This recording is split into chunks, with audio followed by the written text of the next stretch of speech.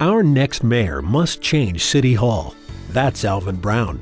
Alvin worked his way through Jacksonville University, stocking shelves at Winn Dixie.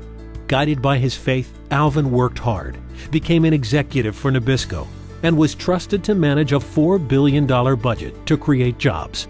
Now, Alvin Brown has promised to cut his own salary as mayor because that's the kind of responsible leadership we deserve. Alvin Brown, a new direction for Jacksonville's future.